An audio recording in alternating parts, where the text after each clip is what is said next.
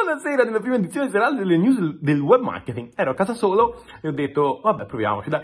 Fatemi sapere, soprattutto mi dite se sono a passo su Google News e Discover. Mi farebbe tanto piacere. Scusate, lo so che è una cosa inutile, però mi fa piacere. Allora, su Meta Business Site si può vedere quante volte è stato menzionato e taggato. Molto, molto interessante. Il 72% degli utenti passano dai social prima di interagire con un brand, quindi tutto da studiare e da fare. Cosa ho imparato dopo l'analisi di 7 milioni di log del file? Ragazzi, andate a vedere, ci sono un sacco di dati interessantissimi, passaggi su robots, sulle 404, veramente bello. Google Ads, finalmente si possono visualizzare le performance dei posizionamenti delle performance max, super utile. Implementare dati strutturati FAQ su WordPress, il plugin delle istruzioni, utile. Google My Business, quando tipo ti apri una sede ma sei tipo dentro un centro commerciale e quindi Google pensa che tu sia de- davvero dentro il centro commerciale facente parte di. Come risolvere questo bug? Molto utile. Fare PPC e SEO sul brand del competitor. Bello il PPC, ma soprattutto interessante il SEO. Il PPC cioè, si può fare, quindi andiamo a leggere come. SEMrush acquisisce Backlinko, e-commerce, trend in crescita anche nel 2021 più 68%, è davvero tanto. Twint, lanciato sistema di verifica dell'immagine con l'NFT. Oh, che cosa curiosa. Instagram subscription, cioè la possibilità di avere alcune forme di Instagram a pagamento per dare più soldi ai creators. Da studiare. SEO per il 2022? Ricorda di avere empatia.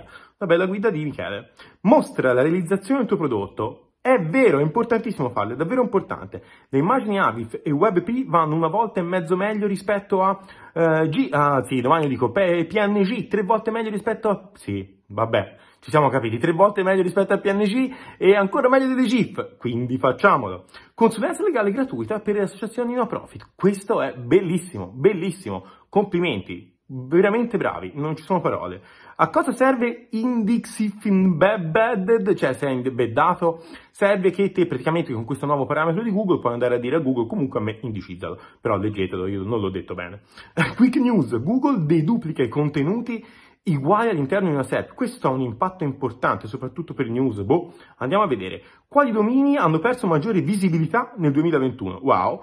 Google Ads, arrivano nuove opzioni di targeting B2B, ne avevamo già parlato, meglio non scordarselo. Amazon Style, la rivoluzione dello shopping. Andate a vedere il video a descrizione perché non si può riassumere. Ma se prendi piede una cosa del genere, è veramente una rivoluzione. Un italiano su cinque non va al bar, tre evitano i mezzi pubblici ci, siamo, ci stiamo facendo una specie di auto-lockdown. Che impatto ha? Questi dati arrivano da Google Maps, quindi interessante, studiamoli, cerchiamo di capire in che direzione sta andando la nostra società.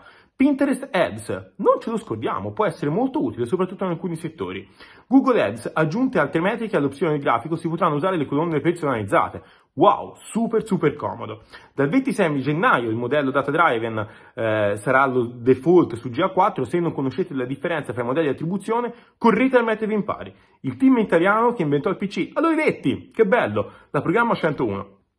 Andiamo a leggere questo articolo perché fa tanto piacere. Al TG3 hanno parlato di un'intelligenza artificiale, ne avevamo già parlato forse più di un anno fa, dove grazie a alcuni sistemi di intelligenza artificiale, semplicemente da una traccia audio, riusciamo a capire eventuali patologie e in questo caso riuscirebbero a capire la presenza di Covid, che renderebbe molto più facile, eh, insomma efficace, poter fare una diagnosi, una diagnostica, eccetera, eccetera.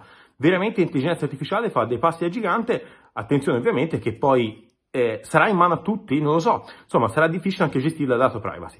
Detto questo, invece che buongiorno, buonanotte. Ciao.